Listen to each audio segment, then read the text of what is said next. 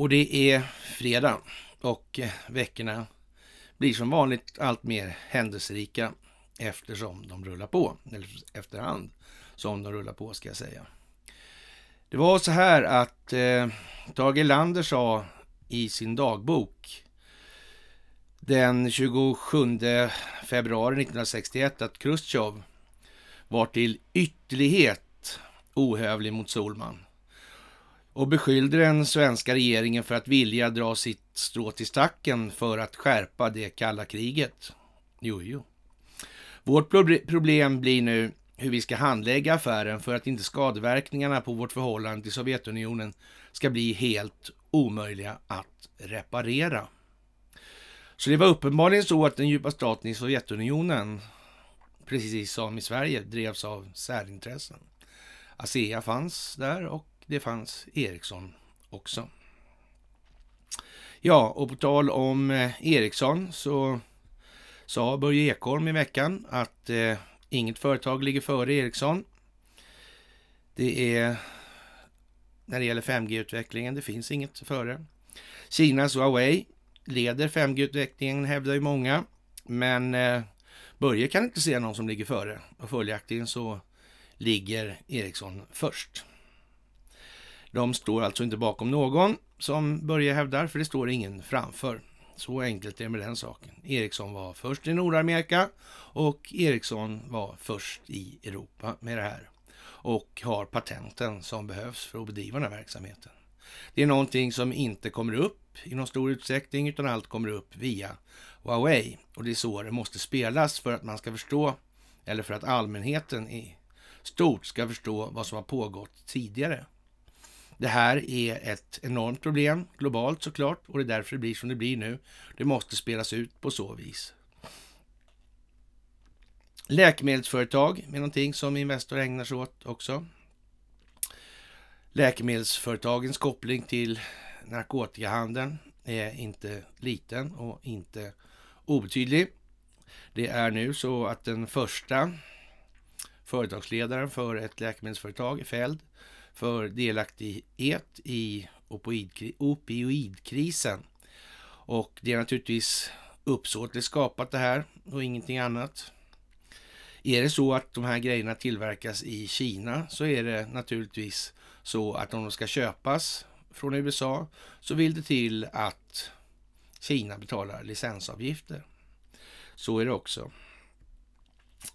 Merkel Erdogan har haft möte det handlar om eh, framtiden och det handlar om gulenisterna i Tyskland. Det handlar om den ganska stora entitet av turkar som befinner sig i Tyskland och som så att säga är mer kopplade till den djupa staten. En mycket farlig destabiliseringsfaktor för tyskt vidkommande som man måste hantera. Det här i eh, sin tur kommer naturligtvis inte att hanteras så enkelt och det måste till hjälp. I det här fallet måste USA och Donald Trump hjälpa till och det handlar om att ta bort galjonsfiguren för turkarnas vidkommande. Och han bor som sagt i Langley bredvid CIA. Soros, han håller på med sin klimatpropaganda eller sin propaganda för att jorden kommer gå under om tio år eller om för tio år sedan eller om för vad det nu är. Det varierar. När eh, Soros är i farten så är det vad det är. Kort sagt, det förstår alla. Soros, han är en marionett för Investor och hans ekonomiska makt, den bygger på Investors godkännanden hela tiden. Soros förfogar inte över något underrättelsetjänstkollektiv och ingen avlyssningsutrustning som underrättelsetjänstkollektiven är beroende av. Han förfogar över en massa pengar och det är så att säga bara ett verktyg i de här sammanhangen. Det är ingenting som man på den nivån ser som varken en möjlighet eller hinder. Det är någonting man bara kan skaffa sig hur enkelt som helst. Och eh, man kan göra det genom skuggbanksystemet och skapa pengarna via de egna bankerna, så det är inga som helst problem med den saken. Han uttrycker naturligtvis att i Davos som har varit nu, där Greta har varit och Trump har varit och Börje Ekholm har varit och Wallenberg har varit och Wallenberg tycker synd om Greta kan jag ju tillägga då, så här, det gör naturligtvis George Soros också. De slår ihop sig i de här sammanhangen och eh, tillsammans med vår finansminister också naturligtvis. Det är mycket enkelt att se vilka som spelar på samma lag nu. Inte ens en svensk kan missa det här. Det är helt omöjligt faktiskt. Alltså, det är jättelöjligt. Ja, och eh, man vill ju gärna från många håll göra då gällande att det här är den här lömska rymdödekonspirationen av religiös modell som ligger bakom det. Nej, det är inte det. Det är och förblir sakförhållanden som information. Det moderna kriget styrs inte av religiösa övertygelser. Det är inte så. Det är 80 procent informationshantering och den som sitter på telekominfrastrukturen sitter på informationsfördelen. Det är bara så. Ja, och, men förr eller senare kommer folk förstå att det är så. Men en stund till får vi nog chatta om det här med ja, olika religiösa indelningar och antisemitism och vad fan det är för någonting alltså. Allehanda obskyra ja, slaskbegrepp som är gjorda för att stigmatisera och många är pigga på att springa i den follan. Ja, och eh, Hariri och Mogherini är två sådana till exempel.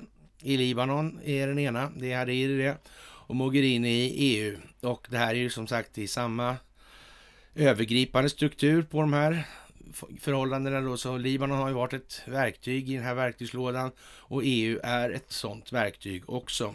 Och naturligtvis så har man miljöbekämpning, höll jag på att säga, men miljöförändringsbekämpning i Libanon och där har Hariri skott sig big time naturligtvis, för det är ju bara vad det är det här. Det är billigt skit och ingenting annat.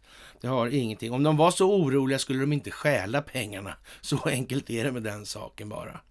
Ja, och eh, finansbolagen på tal om stjäla pengarna, så naturligtvis är det värst i kärnan och finansborgarrådet i Stockholm, det är en hedersbefattning när det gäller det. Där gäller det verkligen att visa att man är exponenten och inkarnationen av den institutionaliserade korruptionen.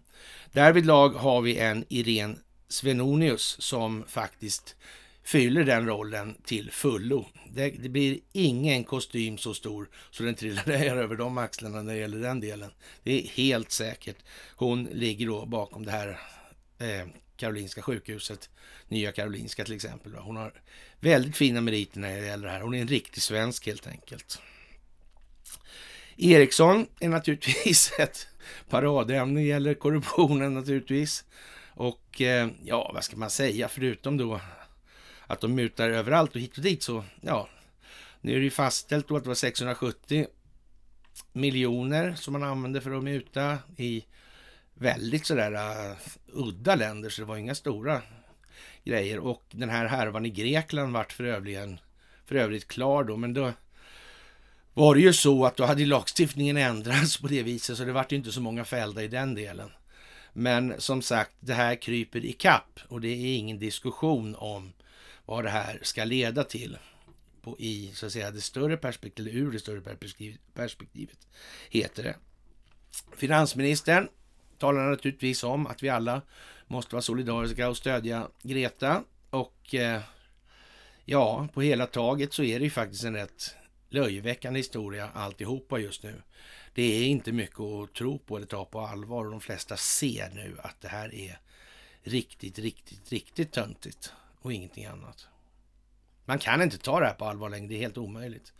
Och eh, det är bara att titta och följa flöden på Facebook och bloggar, bloggen och sådana här grejer. Karl Norberg.se till exempel då. Det finns ett Twitterflöde kopplat till den där numera också. Titta på föreläsningar och så där går vi igenom de här grejerna. Och eh, ja, det är många som förstår att det här är ju lite tokigt och det här kommer inte att reda ut sig med hjälp av partipolitik. Det är alldeles säkert.